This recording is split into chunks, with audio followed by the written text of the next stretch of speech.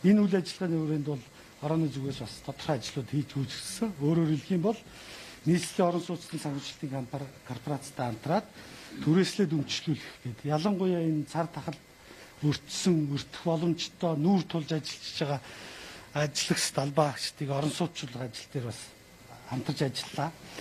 За мөн зээлийн батлан даалтын сангийн үйл ажиллагааг өргөжүүлэх, цар хүрээг нь дэлгэрүүлэх гэдэг энэ дээр бас тодорхой шийдлүүдийг гаргадаг. Хорооны зүгээс дүрмийг баталдаг. Энэ дээр үүрэг чиглэлийн бол баталж байна. Тэгээ саяхан Монгол Улсын засгийн газраас 12 их найдын хөтөлбөрийг хэрэгжүүлэх болсонтой холбоотой хэрвээ тэр зээлийн баталгаа нь хангалтгүй бол энэ дээр зээлийн батлан даалтын сангийн үйл ажиллагаа бол хангалттай 60% хүртэл дааж оролцохоор юм болсон байгаа. За дээрэс нь мөнгө хүлтийг хязгаарлахтай энэ ажлын хүрээнд бол бас тодорхой шийдлүүд гаргасныг та бүхэн мэдж байгаа хаа. За хөрөнгөний зах зээл манай санхүүгийн зохицуулах хорооны хяналт зохицуултанд бол та бүхэн мэдж байгаа хөрөнгөний зах зээл даатгалын салбар бичил санхүүгийн салбарууд бол шууд харьяалагддаг ажилтдаг. За дээрэс нь мөнгө угаалт терроризмын санхүүжилтэд тэмцэх хуулийн хэрэгжилтийг хангуулах өөрөөр хэлэх юм бол биднээс саарл жагсаалтанд орсон, Европын хар жагсаалтанд орсон юм амаргүй жил байсан. Эндээс гарахтай холбоотой биднээс тодорхой үүрэг зорилтуудыг авч хэрэгжүүлсэн. Энэ хүрээнд үл хөдлөх хөрөнгийн зохицуул, үнэт металл, үн чулуугаар арилжаа хэрэгслийн салбарын зохицуултыг цоо шин зохицуултын салбарыг хороод ангаараа хариуцаад амжилттай хэрэгжүүлсэний үр дүнд за мэдээж бусад хамтын ажиллагааны зөвлөлийн 17 байгууллагын хамтаар бол улсын хурал засгийн газраас гаргасан шийдвэрүүдийг амжилттай хэрэгжүүлсэний түнд 10 сар хүрэхгүй хугацаанд анх удаа энэ ФАТ буюу энэ мөнгө угаалтын олон улсын байгууллагаас тавьсан хоригоос гарсныг та бүхэн мэдж байгаа. За энэ ажлыг хийсэн. За хөрөнгөний зах зээлийн хувьд бас нилээдгүй ажлуудыг биднээс хийж гүйцэтгэлээ. Гол биднээсийн зорилт бол 20 онд мэдээг мэдээж шууд одоо хөрөнгөний захлын үйл ажиллагааг идэвхжүүлэх гэхээсээ илүү боломж нөхцлүүд хууль эрх зүйн зохицуултыг сайжруулах тал дээр анхаарч ажиллалаа. Өөрөөр хэлэх юм бол сүүлийн 10 жил яригдсан олон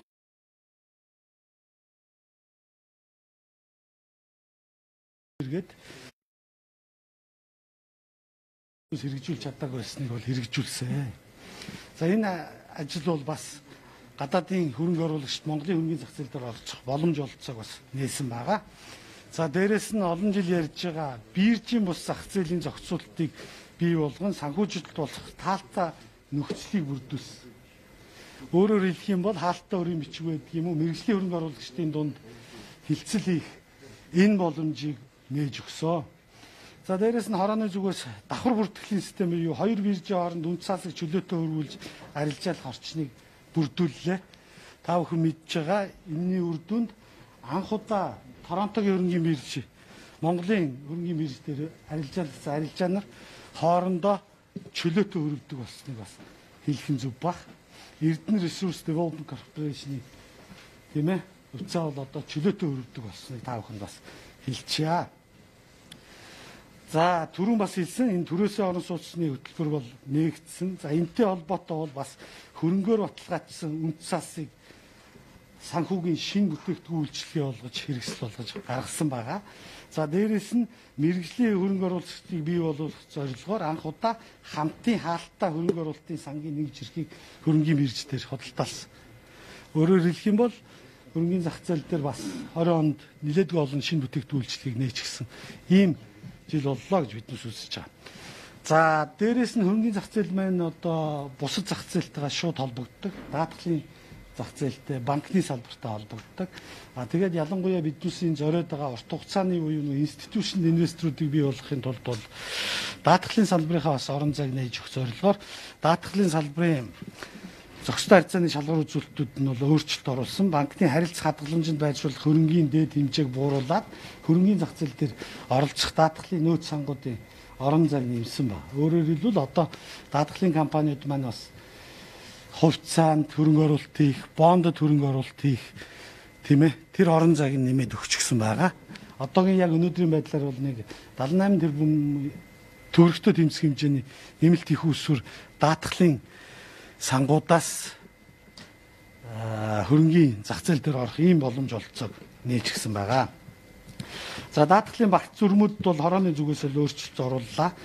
За зөвшөөрлийг олон улсын стандарт нийцүүлээд цахимжууллаа. За дээрэс нь мэдж байгаа ковид-19 цар тахлын эрсдлээс сэргийлсэн дөрвөн шин төрлийн бүтээгдэхүүн арилжааны хэлбэрээр гарчсан байгаа.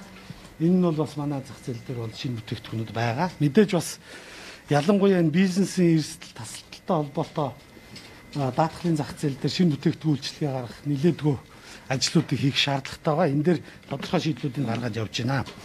За тавчхандаа банк ус санхүүгийн байгууллагууд маань бас үйл ажиллагаа амаргүй байсан. Ялангуяа зээлийн үйл ажиллагаа зээлдэгчд нэг талдаа бас зээлээ төлөхөд хүндрэл учирсан. Нөгөө талдаа банк усуд маань бас өсвөр оруулагдсан зээлээ төлөвлөгч бас хүндрэлтэй байсан. Тэгээд энэ үйл ажиллагаанууд дээр нэлээд анхаарч ажиллалаа.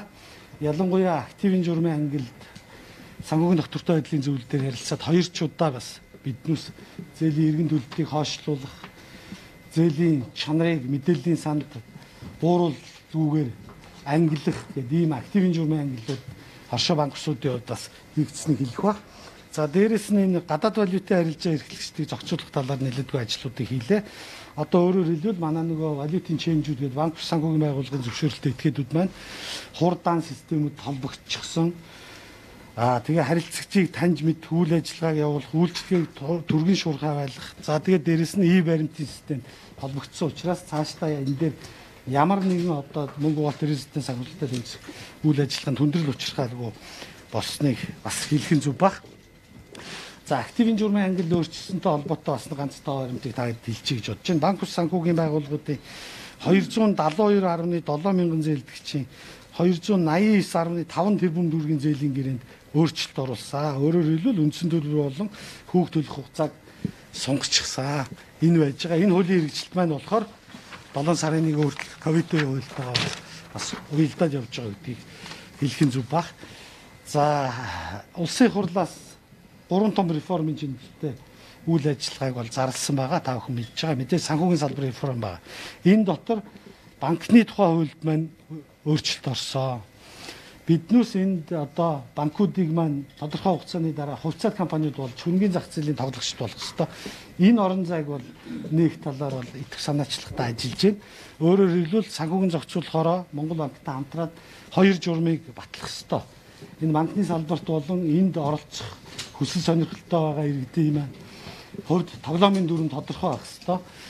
За тэгээд хууль батлагдсан хуулийн хэрэгжилт бол 2000 23 оны 12 сарын 31 гэхэд бүх компаниуд маань хувьцаат компани болно. Тэр дотроо системийн нөлөө бүхий банкуд маань тийм ээ хамааралтай этгээд буюу хувьцаа эзэмшдэг нэг этгээд хамааралтай этгээд хувь хэмжээ бол 20%-ээс хязгаар давахгүй байгааг та бүхэн мэдж байгаа.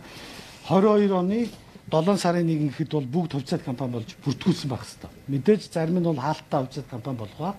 А зарим нь нээлттэй хувьцаат компани болох хэвээр. За энтэй холбоотой төлөвлөгөөний журмыг өнгөрсөн 7 хоног санхүүгийн зохицуулахаар хорооныхоо хурлаар баталчихсан. Монгол банкны ерөнхийлөгчтэй хамтраад баталсан байгаа. Одоо өөрөөр хэлбэл арилжааны банкуд энэ оны 7 сарын 1 гэхэд төлөвлөгөөгөө биднээс бизнес төлөвлөгөөгөө хөргүүлсэн байх хэвээр.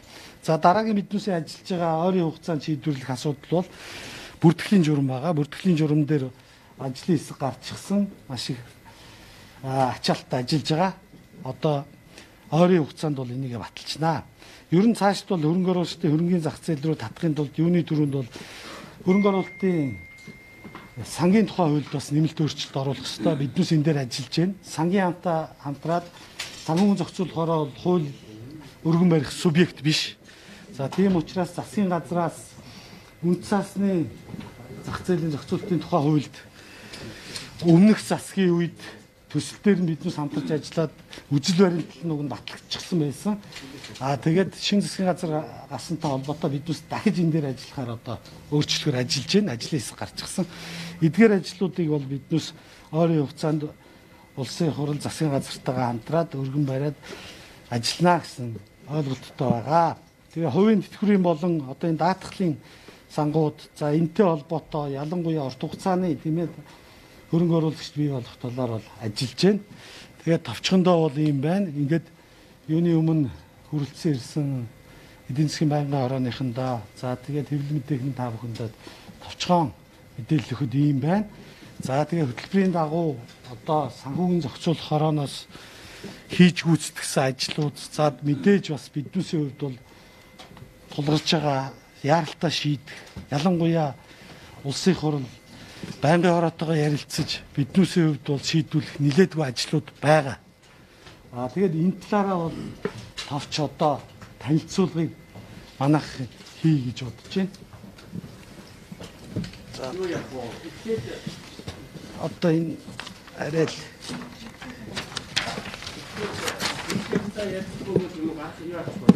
Тэхүү та.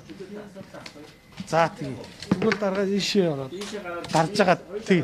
За тий. Тэгэхгүй энэ одоо арай нөгөө дүрм мөрм маань хэдүүлээ тийм ээ. За маск өгөл.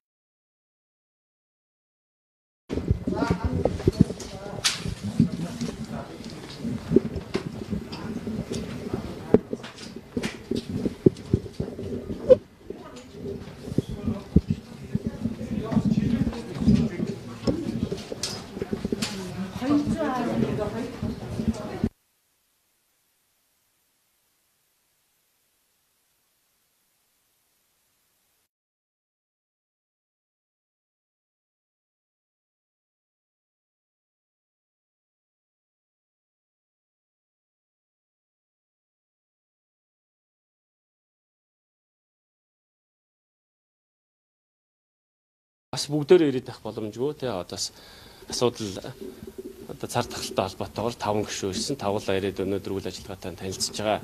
За ерэн зүгээр шууд хэлэхэд бол санхүүгийн зохицуулах хороо одоо банктай өрсөлдөх ёстой банкны салбартаа.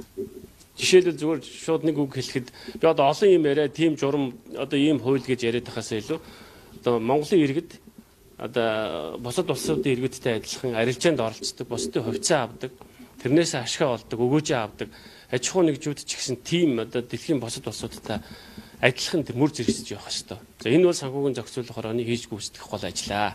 Шууд ингэж ойлгож болно. За хууль эрх зүйн хэмжээнд бол хангалттай хууль эрх зүй бол байгаа. Тийм учраас одоо санхүүгийн за би зүгээр нэг жишээ хэлье. Одоо төмөн шууд гэдэг юм уу, ард даатгал гэдэг юм уу, банкнууд одоо компаниуд одоо хувьцаагаа гаргаж байгаа шүү дээ, тийм. Тэр хувьцаагаа гаргаж байгаа. Тэр хувьцаанаас нь авсан хүмүүс нь үр өгөөчтэй байдаг ядаж банкны хүнээс илүү үр өгөөчтэй байдаг. А буцаагаад тэр хувьцаа одоо тэр IPO гаргаж байгаа хөрөнгө босгож байгаа компани ч гэсэн тэр гаргасан хувьцаа нь болж игэл 50-аас 60% нь өсч идэг. Тэ? 50-аас доош нь унжидэг биш. Энэ энэ тогтолцоог бий болгох нь санхүүгийн зохицуулах хороо болоод эдийн засгийн байнгын хорооны гол үүрэг юм аа. Энийний төлөө энэ ажлыг гүйцэтгэхийн төлөө бид хамтын хүчээрээ ажиллах ёстой. Хүн шууд очиод банкнд мөнгө хадгалуулах биш Эсвэл одоо шууд банкнаас зээл авах биш компаниуд өөрийнхөө одоо хийж байгаа компани үйл ажиллагааг зах зээл дээрээс мөнгө босгодог байх хэрэгтэй.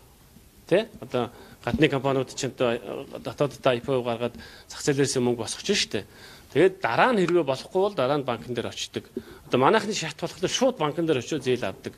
Энэ бас одоо буруу одоо тийм соёл тогтчиход байгаа юм л да. Тэгэхээр санхүүгийн зохицуулах хороо одоо хөрөнгөний бирж одоо даатгалын салбар одоо бусад бүх одоо салбарууд бол энэ чиглэл рүү одоо ажиллах ёстой. Энэ итгэлийг иргэдэд өгөх ёстой. Бизнес эрхлэгчдэд тэр хувь хүмүүст ч гэсэн тэр. Энийний төлөө бүх одоо хууль журам дүрм гарах ёстой. Тэ? Одоо шин зүйлийг одоо шин юу ах вэ? Одоо зорж байгаа зүйлээ хэлэх юм байна. Жижиг хувьцаа эзэмшигчдийн хэрэгшгийг яаж хамгаалах вэ? Одоо хаврын чуулганаар хэлцгүүлдэг байгаа. Мэдээж жижиг хувьцаа эзэмшигчтэй хамгаалдаг хуультай байгаа тийм. Хуулиндаа тодорхой заасан байна. Гэтэ Одоо жишээлбэл зүгээр яг жишээ аваад ярихад 1 сая төгрөгөөр одоо одоо хөрөнгө оруулалт хийсэн хүн буцаагаад нөгөө ногд компани юуны хувьцааныхаа ногдол ашиг авахд ядаж банкны хүнээс дээр одоо өгөөжл авдаг байвал хүмүүс одоо энэ зах зээлийг сонирхож энэ би түрүүн үгнийхээ өхэнд хэллээ шүү дээ. Банкны одоо энэ зах зээл дээр байж байгаа энэ санхүүгийн зах зээл дээр байж байгаа банкны оролцоо бараг 90% байгаа байхгүй. Аа одоо бусад салбарын одоо оролцоо дөнгөж 10%, 10% ч хүрэхгүй 8.2% таа байгаа. Тэгэхээр энэ оролцоог одоо өөр болгох ёстой гэсэн үг те. Бас виртуал хөрөнгөний шинэ бүтээгдэхүүн бас гарч ирж байна шүү дээ. Тэгэхээр яг энийг одоо зарлах За энэ хууль бол боловсрологдоод өргөн барихад бэлэн болсон гэдэг л одоо тийм зүйл байгаа. Түүнээс их хурл дээр бол хэлэлцэгдэж өргөн баригдааг байна, хэлэлцэгдэж эхлээг байна. Тэр бол одоо маш бусад улсуудад байдаг зүйл. Бид одоо энэ орон зай бол дутагдж байгаа нүнэ. Банкуд дээр нэг хүүхдээ эзэмшчин 20% байхаар их хуулийн хэлцэл орж баталсан байна Тий. тийм. Энэтэй холбоотойгоор ерөнхийдөө банкуд дээр хийгдэж байгаа ажил ер нь ямар шатандаа явж байна? Ер нь хичнээн банк яг энэ хуулийн хэрэгжилтийг 2030 он гэдэг амт чухал. 2023 он л та 2023. За амжуулах ёстой. Монгол улсын хууль гарсан. Хуулийнхаа дагуу амжуулах ёстой. Яг энэ ажилд бол Монгол банк хяналт тавиад ажиллаж байгаа. Санхүүгийн зохицуулах орооч гэсэн тодорхой одоо хувиа э, хөрөнгөний зах зээл дээр зарах ёстой шүү дээ. Хуулийн дээр хуульчилсан байна. Тийм учраас санхүүгийн зохицуулах орооч гэсэн ажиллаж байгаа. Монгол банк ч гэсэн ажиллаж байгаа. Гэхдээ бид бас учиргүй одоо бүгд өнөөдөр маргаашгүй ингээд шахаад ах одоо бас боломжгүй байна. Гэхдээ тодорхой журмууд Монгол банкнаас гарна. Бид бол хуулиндаа хяналт тавьж ажиллана. Шууд одоо энэ тэгэн тийм байна, энэ юм байна гэж хэлэхэд бол эрт байна гэсэн. За баяр сайхан дараах мэдээлэл хөө. За баярлалаа. Би орон нөхцөлтөөр За цөөх асуулт авъя. Тэхүү. Тэгэхгүй бол дээр одоо ирсэн байгаа юм чи. Хорооны санхүүгийн салбарт холбоотой танай байгууллага санхүүж хэрэгжүүлсэн одоо санхүүж хэрэгжүүлж байгаа юм. За 20 оны хувьд бол бас амаргүй жил байсан, сорилтын жил байсан.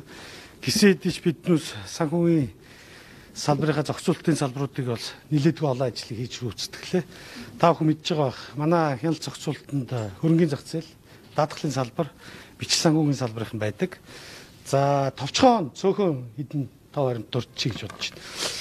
За биднээс бол эдгээр хүнд байсан ч гэсэн бас боломж гэж ойлгосон. Өөрөөр хэлэх юм бол санхүүгийн зохицуулах орны хяналт зохицуулалтын зүгээс хууль дүрм зохицуулалт журмуудаа шинжлэх, ямар шинэ бүтээгдэхүүн үйлчлэгийг гаргаж нэвтрүүлэх, а эрсдлийг үнэлэх тал дээр нэлээдгүй ажлыг хийлээ. Өөрөөр хэлэх юм бол хөрөнгөний зах зээл дээр одоо тийм ээ сүүлийн 10 жил яригадад ажил хэрэг болгож чадаагүй нийлүүлэлтийн тэгээ T+ 2 гэдэг тийм ээ арилжааны эсрэг нийлүүлэлтийн зарчмыг анх удаа хэрэгжүүлээ. Өөрөөр хэлэх юм бол арилжаанд оролцоод 48 цагийн дотор гүйлгээгээ хийх энэ боломжийг нээж байгаа. Өөрөөр хэлбэл гадаадын хөрөнгө оруулагчид цагийн зөрүүтэй байдаг та бүхэн мэдж байгаа. Энэ дээр оролцох боломжийг нээсэн. Түрүүн та бас биднүүсийн хувьд нэлээд онцлог асуудал бол ялангуяа жижиг үйлдвэрлэлтийн эрх ашгийг хамгаалах тийм ээ. Тухайн компаниудаар ногдол ашиг хуваарлдаг байсан бол үнд цасны төвлөрсөн хадгаламжийн түвээр дамжуулж олго гэдэг ийм шийдвэрийг гаргасан амжилтаа хэрэгжүүлж явж байна. За дээрэс нь давхар үрдэхлийн журам батлагдлаа. Өөрөөр хэлэх юм бол одоо биер чооронд хувьцаа чөлөөтэй арилж- арилждаг тийм ээ хөвөрдөг ийм болсон олон улсын биржүүд Монголын хөрөнгөний биржтэй одоо Монголын дотоодын компани, гадаадын компани хоёр зах зээл дээр зэрэг тийм ээ хувьцааны юм уу бондын нарилж байгаа хийдэг хоорондоо чөлөөтэй өрөвдөг энэ анх удаа хийгдэж байгаа энэ ажил бол зах зээл дээр нэвтэрсэн байгаа. За дээрэс нь одоо эдгээр ажлуудыг хийсэнтэй холбоотой магадгүй одоо мэрэгжлийн хөрөнгө оруулагчдыг ялангуяа энэ зах зээл дээр илүү татах хэрэгтэй юм байна. Яагаад тэгэхээр одоо сая биднээсээ яриад байдаг мэрэгжлийн хөрөнгө оруулагчд бий болсноор хувьцаа тийм ээ бондын бусад өрийн хэрэгслүүдийн хөрөнгөний зах зээл дээр гарах юм бол хит хурдан ундаг өсдөг биш үнэн харьцангуй тогтворчдаг энэ байх суурь үндсэн байгаа. Энийний хүрээнд бол одоо хамтын хаалттай хөрөнгө оруулалтын сангийн нэг жирхийг олуулсан тийм ээ хөрөнгө Монголын хөрөнгөний биржээр гаргасан. Өөрөөр хэлэх юм бол та цаг завгүй байж болно. Мэргэжлийн тэр хөрөнгө оруулагчд хөрөнгөө даатгаад тэр улсууд та нарын өмнөөс хамгийн ашигтай гэсэн тэр үнд цааснуудад хувьцаанд хөрөнгө оруулах ийм боломжийг нээж өгсөн. За ийм ч учраас анх удаа Монголын хөрөнгөний мэрж дээр харилцдаг хувьцаануудын маань зах зээлийн үнэлгээ, үнд цасны зах зээлийн үнэлгээ 3 их найд төрсөн. Оны эцэг. А өнөөдрийн хувьд бол 3.7 их найд болчихсон. Явж явах жишээтэй. За даатгалын салбар дээр бас нэлээдгүй ажлуудыг хийлээ. Ялангуяа хорооноос биднээс сангийн журмуудын хэв хэмжээг тогтоодог энэ дээр өөрчлөлт оруулсан. Өөрөөр хэлэх юм бол банкуд байршиж яадаг тийм ээ хадгаламж харилцах хэлбэрээр байршуулдаг мөнгөний хувь хэмжээг багасгаад тэр багассан хэмжээ нь хөрөнгөний зах зээл дээр орох ийм зохицуултыг хийж өглөө.